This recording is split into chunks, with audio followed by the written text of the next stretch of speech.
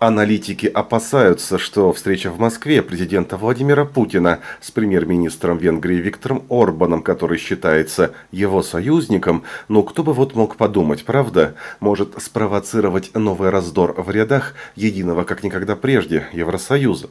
Венгерский премьер, который надеется договориться о дополнительных поставках российского газа, может помешать другим лидерам Европы выработать общую позицию в отношении кризиса вокруг Украины, передает. Евроньюз, то есть в переводе с официального языка правды и европейских ценностей на бытовой русский, нехороший дядя Орбан ведет себя как нормальный лидер нормальной страны, отвергая ритуалы по зеленой энергетике и, что еще хуже, преследуя национальные интересы.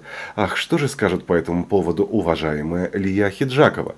Впрочем, если то, что скажут лучшие люди России, да и просто интернациональные борцы за вашу и нашу свободу, вот уважаемый Михаил Борисович Борисович Ходорковский подтвердит с берегов Женевского озера, мы отлично знаем, то от Путина в этот раз снова прилетела мелкая оподлянка.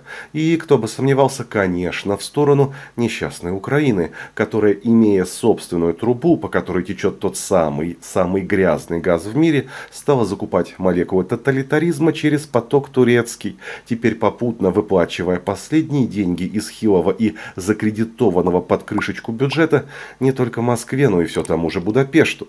Долгосрочные контракты сейчас позволяют Венгрии получать российский газ в пять раз дешевле рыночной цены в Европе. Об этом, собственно, и безусловно подло и заявил на днях президент Российской Федерации Владимир Путин на встрече с премьер-министром Виктором Орбаном. Провернул, так сказать, наждачок незалежности, что в Киеве несколько раз вспотели и есть от чего. Хотя, кстати, с учетом того, что в стране вечно холодных батарей сейчас лютые напряги с отоплением, тоже неплохо, согласитесь, хотя бы погрелись. А дело, конечно, в том, что если ранее поставки были чисто виртуальными, то есть Киев просто отбирал российский газ из проходящей через его страну трубы, то теперь впервые в истории, ох уж это наша держава самых больших антирекордов, Украина начала физический импорт газа из Венгрии.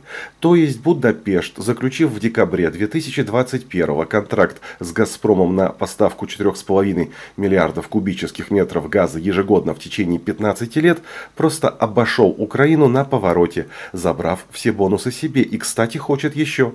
Ибо Орбан также сказал, что Венгрия заинтересована еще в увеличении поставок российского газа еще на 1 миллиард кубометров в год. Где-то сейчас, кстати, есть все подозрения, хлюпают носом хоть в Болгарии, хоть в Молдавии. Потому что вторые все очень хотели жить по рыночным правилам и теперь не знают, что продать еще, чтобы расплатиться с Газпромом, который почему-то перестал давать в долг. А первые могут внимательно смотреть, как Турция получает деньги за тот самый транзит, за который прямо сейчас могли бы получать болгары. Ну и маленькие украинцы тоже должны бы в теории записать, что Россия может давать прекрасные цены на голубое топливо, как это, кстати, было всего лишь несколько лет назад.